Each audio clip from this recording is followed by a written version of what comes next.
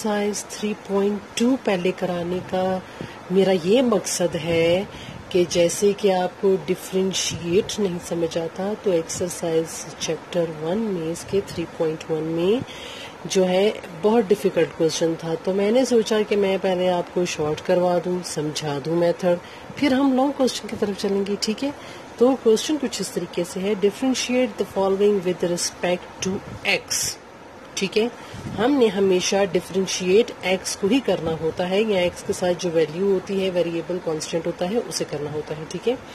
तो क्वेश्चन भी मैं लिखती हूँ, फिर आपको मैं बताती हूँ। तो क्वेश्चन कुछ यूँ लिखा है एक्स नाइन एक्स की पावर फाइव हमने इसे करना है डिफ्रेंशिएट जैसे कि हमें रिक्वायर्ड क्वेश्चन दिया गया है, ठीक है। अब हम सबसे पहले मैथमेटिक रूल सॉल्व लिखना है।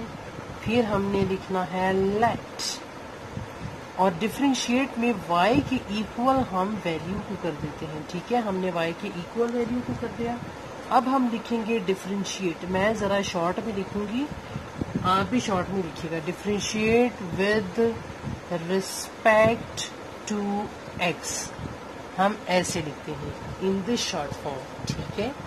और फिर हम लिखेंगे dy डी एक्स इक्वल कर देंगे d y by d x और इस पूरी वैल्यू को हम ब्रैकेट में कर देंगे। ये स्टेप कर देंगे, ठीक है? उसके बाद ये वाला तो d y by d x इतना ज़रूरी है इस क्वेश्चन में कि इसके बगैर आप कुछ नहीं कर सकते। इसको आपने लिखना लिखना ठीक है, अब हम कांस्टेंट वैल्यू के लेंगे जो आ गया नाइन याद है जब हम लिमिट लिखते थे?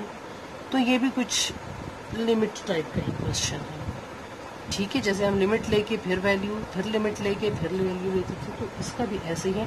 D y by d x equals to nine d y by d x equals to कर देंगे हम इसे एक्स की पावर फाइव की। ठीक है?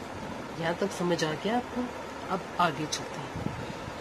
ये वाला मैंने आपको कहा है कि ऐसे ही आपने लिखना है d y by d x equals to हमने कर दिया नाइन अब आगे की कहानी मैं आपको बताती हूँ कि जो x के ऊपर पावर है ना, वो पावर मल्टीप्लाई बाय कांस्टेंट हो जाएगी, ठीक है? और ये वाली जो पावर होगी ना, x के ऊपर पावर जो चाहे, उसमें से वन माइनस हो जाएगा। फाइव में से माइनस हम वन करेंगे, ठीक है? तो हमारे पास d y by d x equals to आ जाएगा मल्टीप्लाई करके आ गया फोर्टी फाइव और x फाइव में से वन गया तो आ गया फोर ये इसका आंसर है। ठीक है?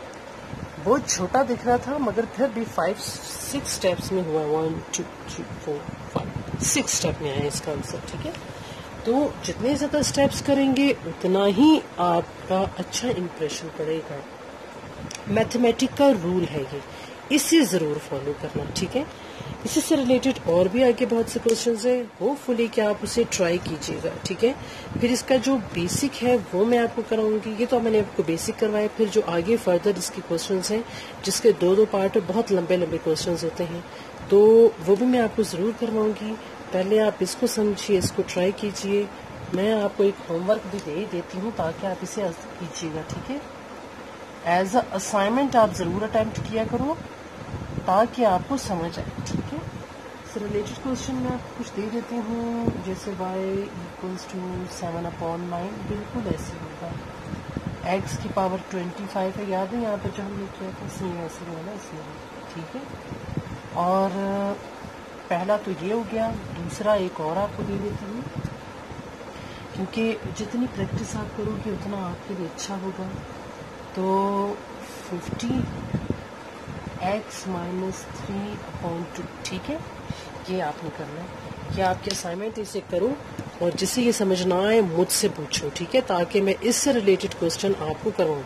मुझसे ज़रूर पूछना और इनको ज़रूर अटेम्प्ट करना, ठीक है?